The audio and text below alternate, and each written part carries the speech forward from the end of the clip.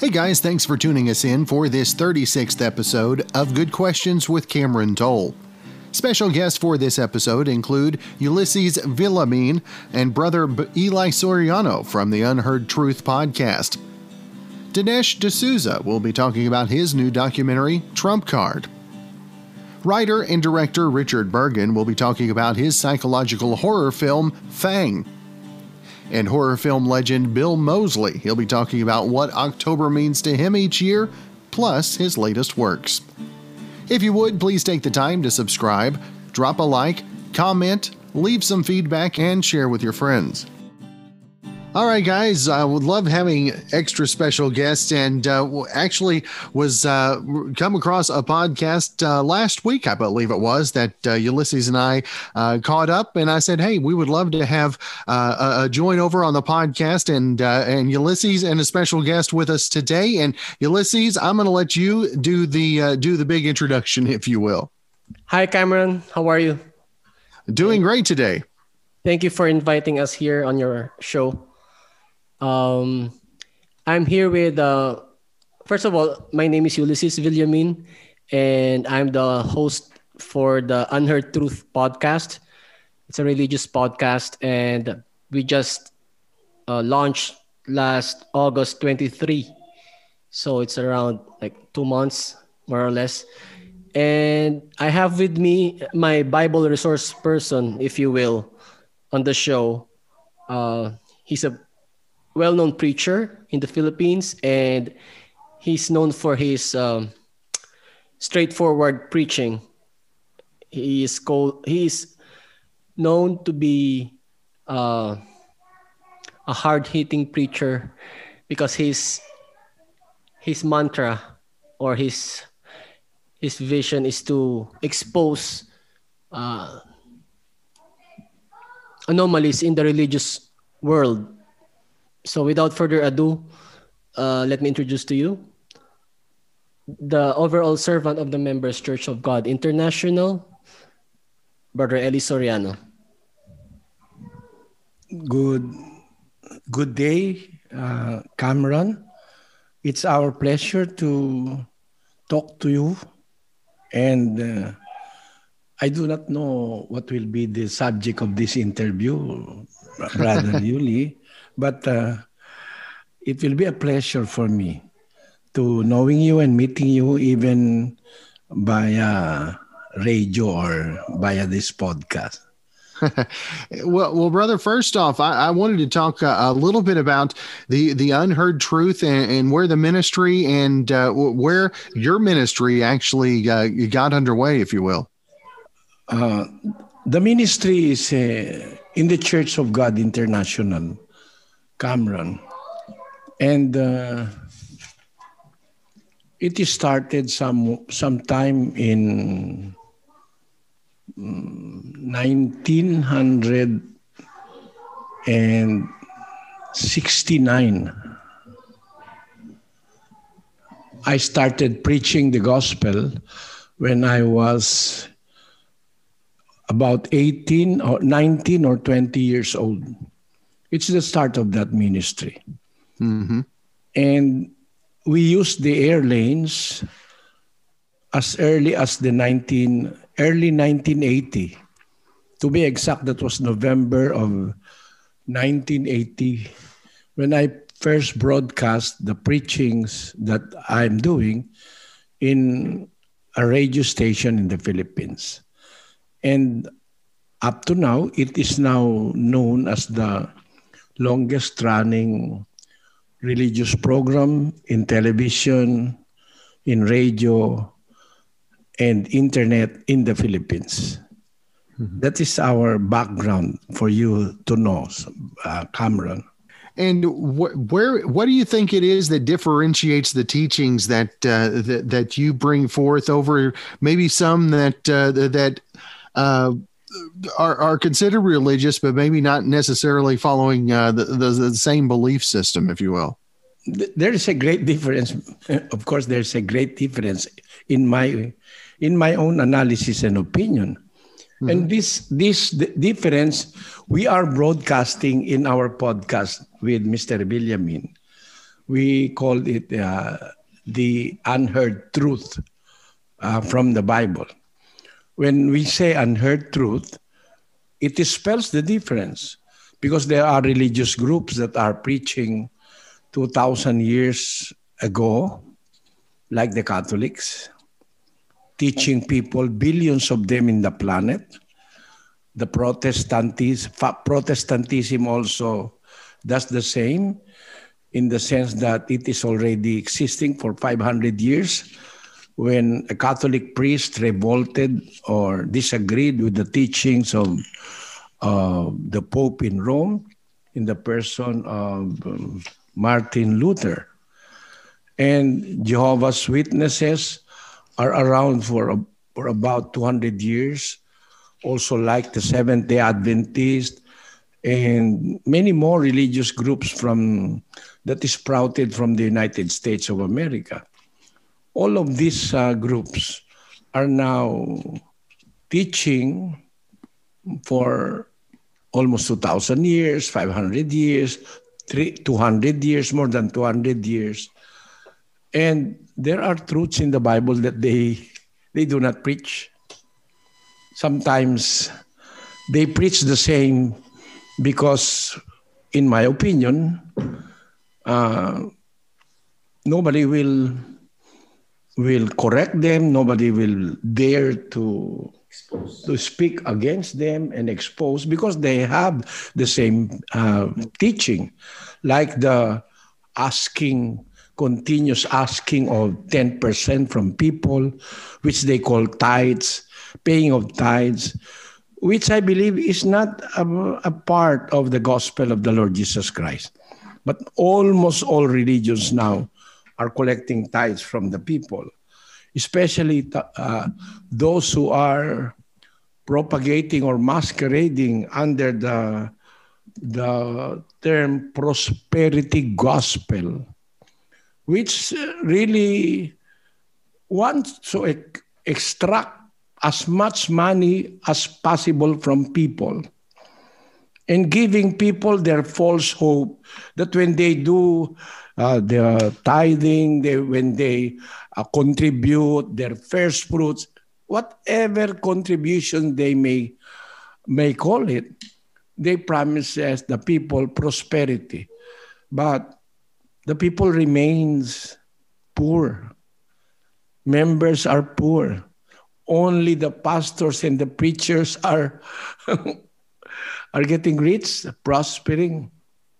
That is one of our main reasons of launching this uh, podcast to to reach for as much people as possible with the message of the gospel of Christ that religion is not a profit making institution that the Lord Jesus Christ established on earth. It is an institution of love, mercy, and hope, an institution of good works from Christians even to non Christians. That is our, our main goal in doing this podcast, The Unheard Truth. And people may judge of our good interest in launching this uh, podcast and also in evangelizing in almost eight or seven continents of the world because we are being cover, covered by uh, i do not know now how much but later, uh, no, in the past, uh, we are being served by seven satellite providers covering entirely the whole globe. Our, our faith is being broadcast in television, in radio, via satellite, reaching even the, the remote areas of oceans and seas all over the globe. We have followers even in cruises uh, that follows our program. I think and, it is uh, it is the it has given you an idea of our intention and our goal to reach out for as much people as possible and and to get the response back that you guys have for the podcast and uh, obviously that uh, that is an opportunity showing the people that you've been able to reach. And what does that mean to you on uh, on not only the uh, the professional the, the spiritual side but on on a personal side uh, how how rewarding is that? You see cameron for me i have the feeling of consol- consolation, fulfillment.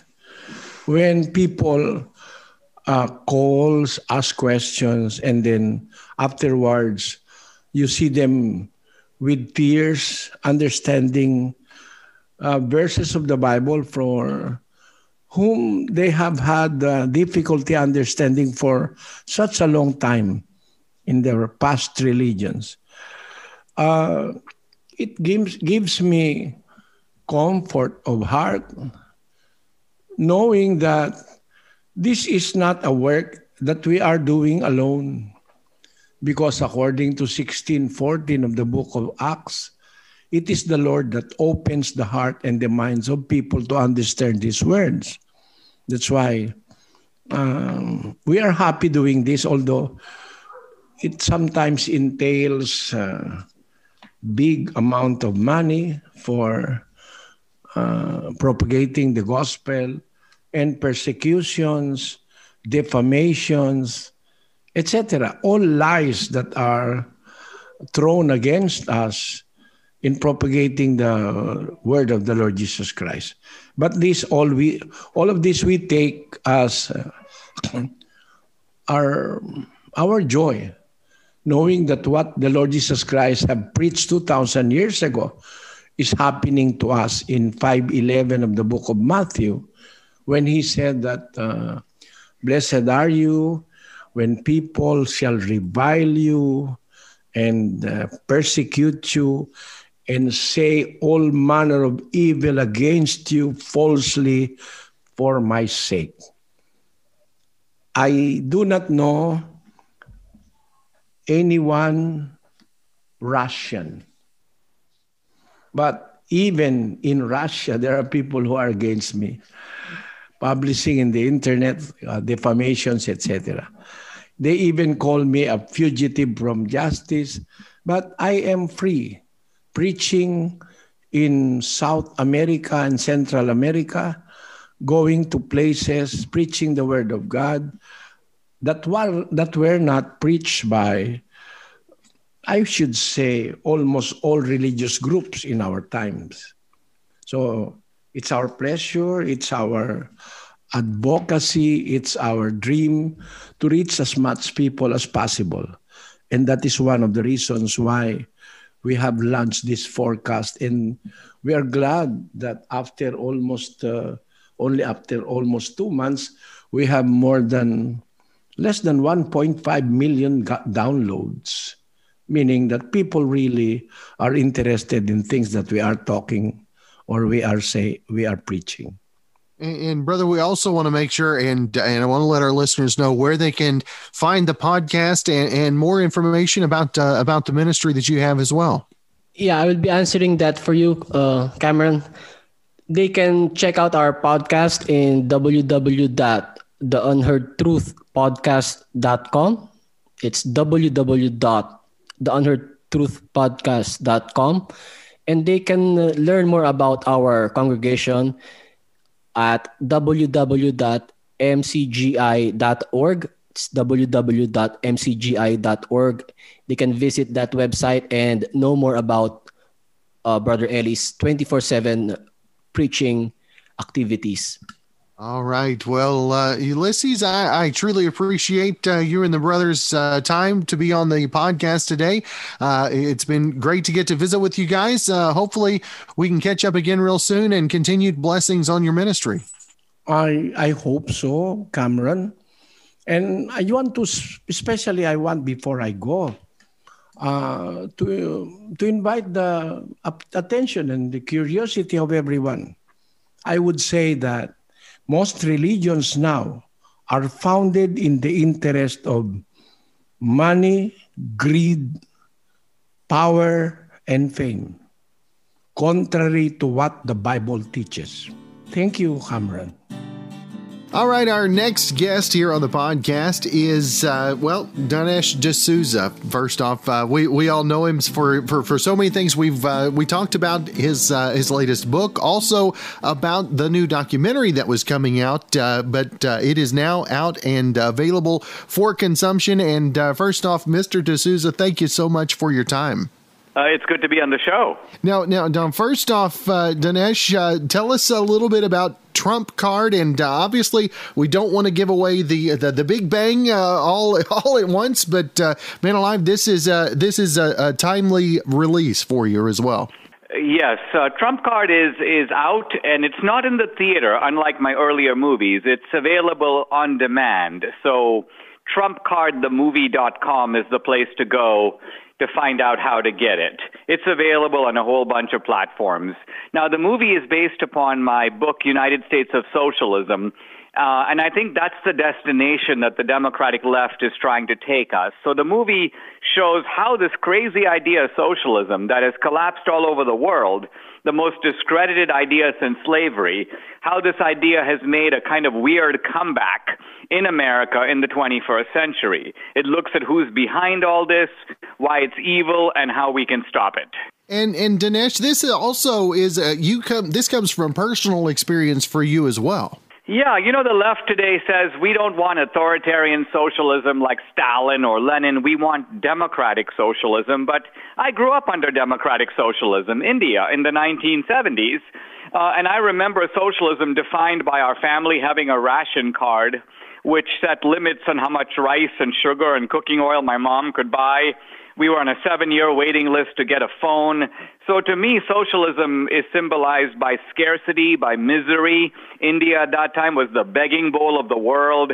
And India only began to start doing better when it moved away from socialism. And uh, the, the the new age social socialism, if you will, what what makes it different, or or is there really any major difference from that you experienced in the seventies? There is a couple. There are a couple of major differences. One is that the new socialism, I call it identity socialism because it's a marriage of socialism and identity politics. Remember that Marx divided society into the rich and the poor. Uh, Marx was a divider, but only on the economic basis. But what the left does today is they divide society in many ways rich against poor, but also black against white, male against female, straight against gay, legal against illegal. So the left today is more divisive than Marx. And, and the reason they're doing this is they're trying to assemble a majority coalition of oppressed victim groups. And how much do you think that uh, the COVID 19 and coronavirus pandemic has kind of played into maybe the fear mentality? Well, coronavirus offered the left a political opportunity, much in the same way that the Great Depression did in the 1930s. Franklin Roosevelt realized that he could push through tax rates and confiscatory policies that would never have gone through otherwise. The politics of fear is very useful to the left. So coronavirus is real. There's a real virus, but it's also being used by the left to habituate people to staying at home. This is why they want to go into semi-permanent lockdown. They want to be able to create this dependency where you get $2,000 a month and then you vote for the Democrats every single time. Uh, they've also been using it to suppress civil liberties, uh, the right to uh, worship, for example, or even the right to assemble. These constitutional rights, otherwise inviolable, they're not even up for democratic referendum, but they are being suppressed in the age of coronavirus, particularly in Democratic run cities and states. And what do you think about uh, the, the polling that's taking place? Is this media driven, do you think, or do you think the numbers are actually as the polls are, are shown, or do you think those are, are, are rigged in some sort of way? Well, I think that the poll numbers are weighted in order to oversample Democrats um, and the pollster class is pretty much the same as the media class. It's hard to argue anymore that these people don't have an agenda. They do.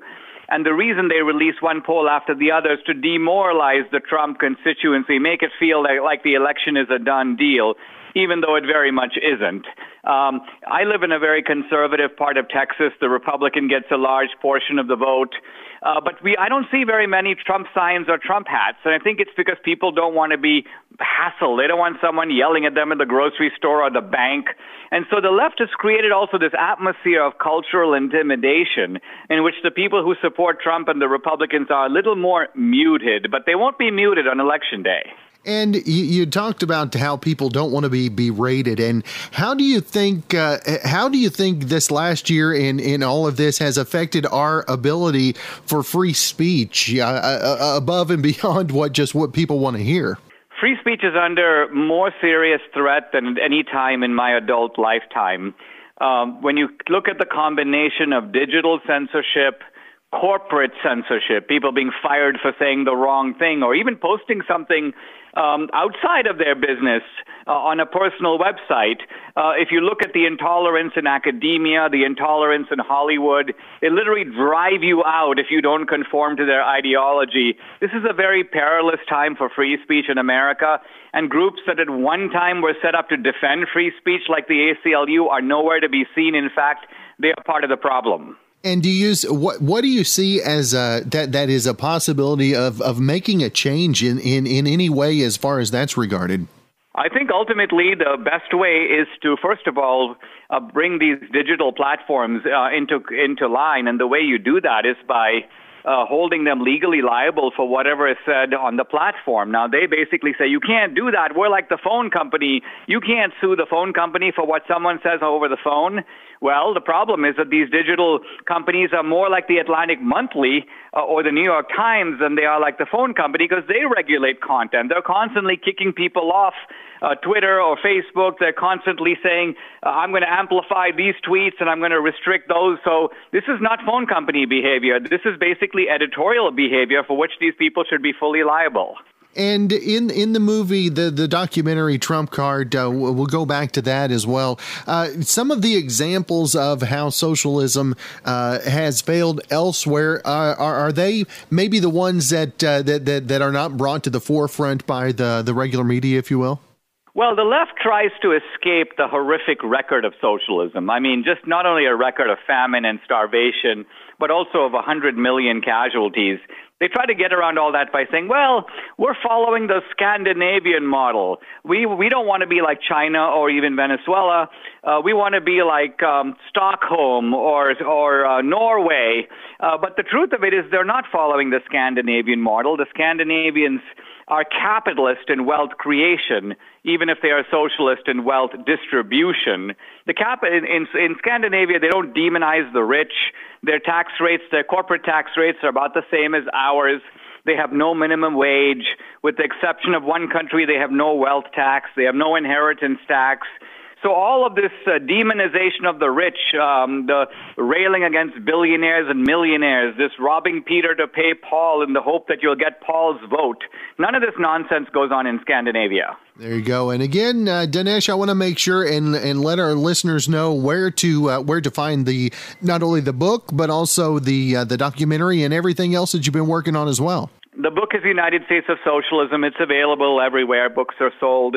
Uh, the movie uh, is available on Apple iTunes and Google and YouTube and Vudu and Fandango, the movie site. You can buy a physical DVD at walmart.com or target.com. So go to trumpcardthemovie.com. It'll show you all the different places you can get the physical DVD or that you can download the movie and watch it on any device from your phone to your computer to your big screen TV. All right. Well, Dinesh D'Souza, it is always great to visit with you. I appreciate you taking some time out of your busy schedule and hope you have a great rest of your week, my friend. Hey, thank you.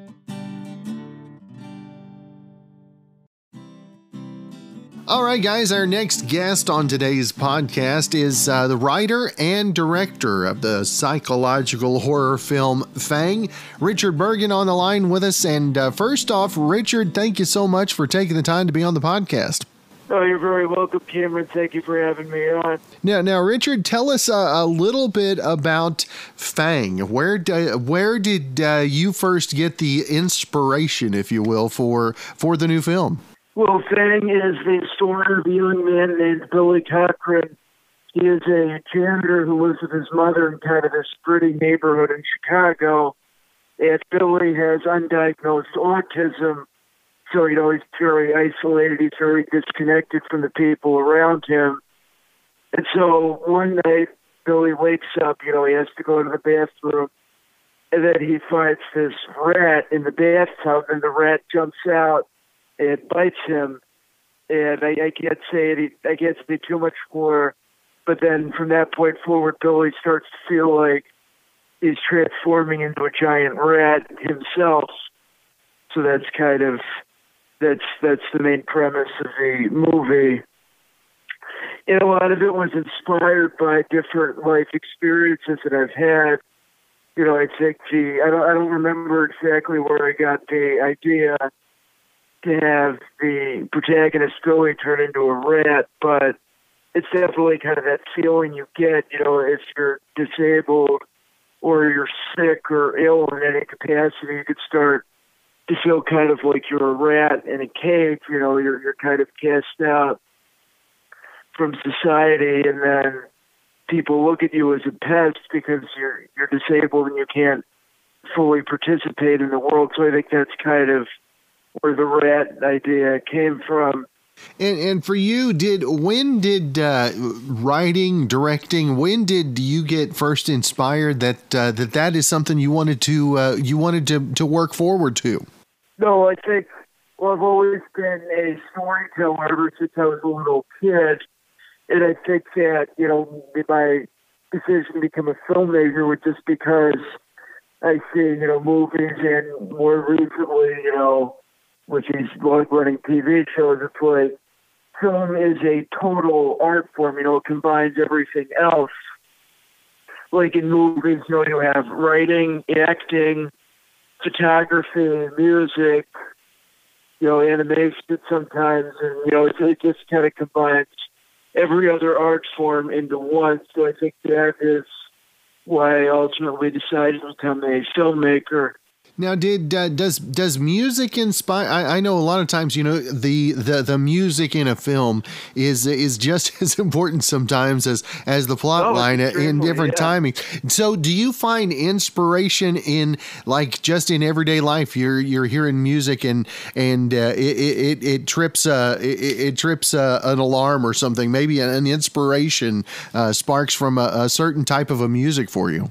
Oh, absolutely. Yeah, I mean, when I'm when I'm writing, you know, when I'm working on a, a screenplay, either for Fang or for anything else, you know, I, I usually have to listen to music that matches what I'm writing so I can create the right mood. Because, you know, it's hard for me, you know, because when I'm writing, I have to really get into zone to visualize everything that's happening so I can I can write it down and then the music really helps me with that because then you know, if I try to visualize, I try to get myself into the headspace of the movie, and then I hear music that is very fitting for the scene I'm doing, then that that is a great help and source of inspiration for me. And talk about the uh, the, the, the challenges that you faced uh, getting getting into the entertainment industry in the first place, and you, you talked about feeling like a rat kind of caged up, or or maybe an outsider. How hard has it been to kind of get your foot in the door, even? Well, getting your foot in the door is the easy part. Getting all the way through the door is the hard part. But no, yeah, it was it was fairly easy to get people on board with the making of Fang because I wrote the script for Fang so it could be filmed on as low a budget as possible. And that's really the advice I would give to anybody who wants to make movies is, you know, do it cheap because, you know, people are not going to be giving you hundreds of millions of dollars for your first movie when you've never really made a feature film before. So so I, so I made Fang very cheap, and it was easy to get people on board to make it because I sent the script, you know, to different people, and then most everybody really liked the script. But I would say the biggest challenge is just the sheer magnitude of making a feature film. You know, it's like you sit down to watch one, and it's like, oh yeah, ninety minutes, hundred minutes, two hours. You know, oh yeah, I can do that. But then actually making it, you know, it takes years and just day day after day, like we filmed Fang over a period of 23 days, which isn't even that much, but it was like 23 12 hour days in a row with, with very few days off in between. So I think just the sheer magnitude of making a project like this is probably the biggest challenge. It's like everything is on a bigger scale than you anticipate. And this movie was still on a relatively small scale compared to like the really big, long, elaborate movies. So is is the horror genre is that uh, is, is that kind of the genre you're aiming to be a part of, or is that maybe just the inspiration on this film? Well, I do I do plan on you know branching out more, doing you know I, I want to show that I, I'm a really versatile writer and director that I can do a lot of different things. But I think for me, the horror really comes from the characters and their relationship and kind of what they go through, you know, in their lives rather than following any horror conventions per se. Because I think, if anything, Fang starts out, you could say that it starts out as kind of like a slice of life drama where we're just following these characters in their day to day lives, and it goes from slice of life to slice of life. Slice for life. Absolutely. Now, now for you, do you are you able to when you dissect the movie? Are you are you able to find uh, the humor that that you're looking for, and, and and how hard is it to get to a point where you're finally like, okay, I'm done editing? How where how hard is that for you to get to that point? well, it, it took, I think, over half a year to get to that point. So we definitely went through a lot of edits. And we're still not done editing, but we do have picture lock now, meaning that the footage is in place, and we're not going to make any alterations to the order and placement of the footage, but we are going to, we still have to do color grading and mastering the audio and stuff like that, but that's really the final stage of editing. So it's definitely, yeah, it's very easy to get perfectionistic and let it go on and on, you know, for a long time. And uh, now, if folks want to find out uh, more information about uh, about Fang and, and also everything else you've got going on, Richard, where's where's the best way folks can find information? Well, the best place to go right now to find out more about Fang is the Fang Facebook page, which is Fang colon the movie, and that is a really great resource. You know that we we have like a lot of pictures from the making of the movie, a lot of people talking about their experiences working on Fang, so that is a really great you know place to go to find out more.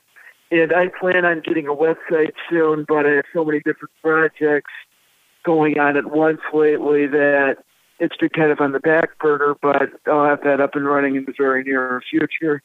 All right. Well, Richard, it has been great to visit with you today. And uh, again, looking forward to the new movie Fang. Again, follow him on Facebook. And uh, Richard, best of success to you as the as you finalize the film. And uh, hopefully we can catch up again real soon.